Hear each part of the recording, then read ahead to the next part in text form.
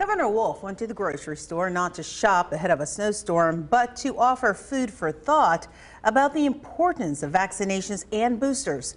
Dennis Owens reports.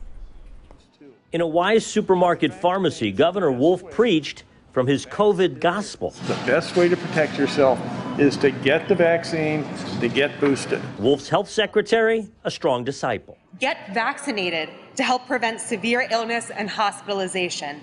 Get a booster dose because it is proven to substantially increase your level of protection. When vaccines first rolled out, 70% inoculation was the target for so-called herd immunity. We're over 70%. Now they're ta- now I hear Yes, you're right. 90%. So I, I don't think anybody really knows what that means. But we do know surging coronavirus is filling hospitals and burning out staff, even if a majority of the patients aren't there because of COVID. The COVID cases are still a, a small minor- minority of the cases, but hospitals are, are, are really struggling to, to keep up with what they need to do. Which brings us back to the sermon about getting vaccinated to stay out of the hospital and out of the way of medical professionals. The Wolf administration very much on message. And yes, they want you to preach it too. If you know somebody who is not fully vaccinated, please urge them to do their part in helping to end this pandemic. When you do that, you're not just protecting yourself, you're helping all of us get one step closer to the end of this pandemic.